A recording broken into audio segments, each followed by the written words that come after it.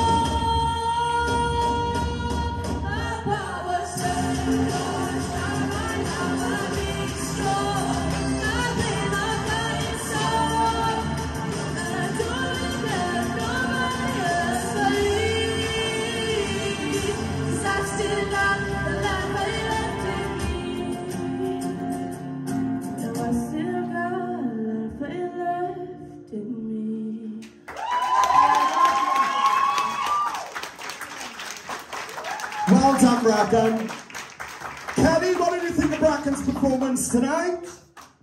Oh wow, do you know what? You looked for the first time like you actually enjoyed being up on the stage. You know, and I think everybody in the room felt that. I think I think you really sort of like let go. You were really, really pushing and you really gave it your... There were a couple of pitching issues, but the fact that you got up there and you sort of like let yourself go, that is a huge step, massive. I think in terms of confidence, I think that's the best that we've actually seen you. So I got to commend you for doing that. You Honestly, you really looked like you were enjoying it. Well done.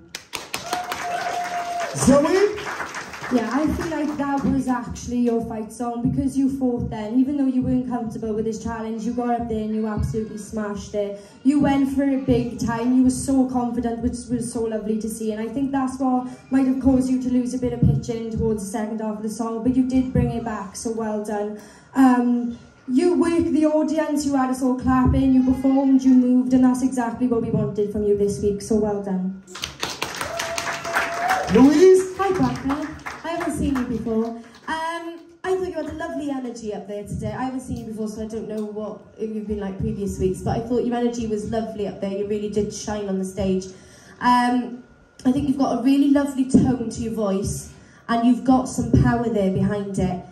Now, if this is something that you want to do, and it looks to be watching you like this is what you want to do, then you need to put in the work because there are pitching issues, there's diction issues, timing issues, but they can all be fixed. It's all stuff that can't be fixed. What can't be taught is the shine that you brought to the stage today. So really take that on board. And honestly, I feel like you've got such a good foundation. If you work hard, you can fix all those issues, yeah? Because it was really pitchy, but you gave us a good show, yeah? So well done. And I hope to see you improve and improve and improve. So well done, babe. Bracken, it is, it, that's what it's about for all of us in, in the industry. It's about dedication, hard work, dedication. You've got to commit yourself to it to want to be the best of what you want to be. Um, I, am actually really surprised because when I heard this in the studio, this wasn't bang on perfect. And I was really, really worried about it. Now, it weren't perfect tonight, but what I can say, it was definitely better than what I heard in the studio. I didn't see you go for it like that. You were stopping all the time. And she was, always with, she wouldn't even sing the whole song for me, would she? Yeah, but to, like, so I didn't get to hear it.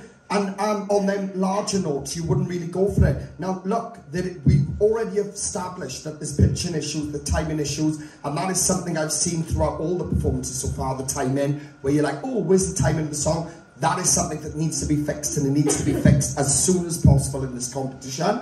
Um, and like, I'll speak to you outside the competition about how we can fix that, the timing problem. But um, other than that, what you did tonight and the fact that you went for it and the fact you pushed yourself, I have to commend you because I generally didn't, even at that standard, I didn't expect it. So you should be proud of what you've done because you've actually surprised me a little bit tonight. I didn't think you was going to fight for it like that and you really did. So well done to yourself. Well done. Round of applause, guys. Apply now at www.musicwales.org.